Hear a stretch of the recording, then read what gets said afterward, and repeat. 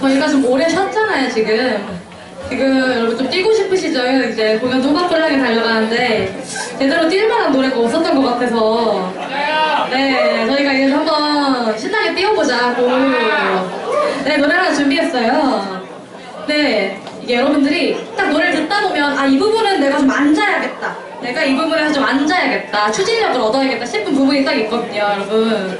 이렇게 딱 앉으셨다가 딱 뛰어 하면 일어나서 이제 열심히 뛰시면 돼요. 공연이 후반부니까 이제 한번 제대로 뛰는 노래. 카스의 자이가이스트.